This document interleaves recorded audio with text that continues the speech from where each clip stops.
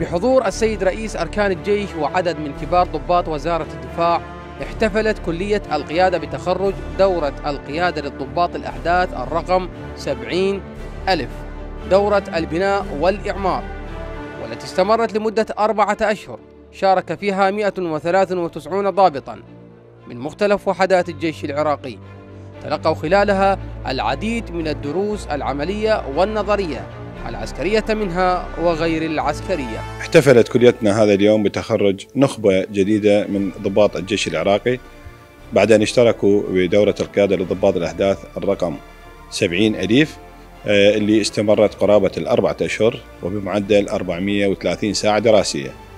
تناولت الدورة آه، عديد العديد من المواضيع منها العسكرية وغير العسكرية منها واجبات الأركان ومحاضرات في الصنوف وعمليات مكافحة الإرهاب وكذلك محاضرات في القانون الدولي الإنساني. المشتركون في الدورة ثمنوا الدور الكبير للكادر التدريسي لكلية القيادة لما لهم من دور كبير في تطوير مهاراتهم العسكرية المختلفة من خلال الدروس التي تلقوها. خلال فترة أربعة أشهر الماضية تلقينا كافة الدروس العسكرية والغير عسكرية.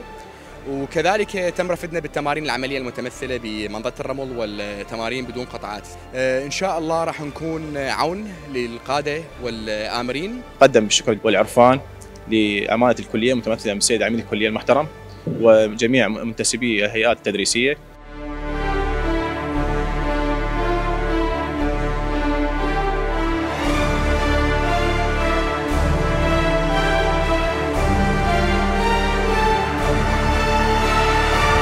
قرار الربيعي إعلام وزارة الدفاع.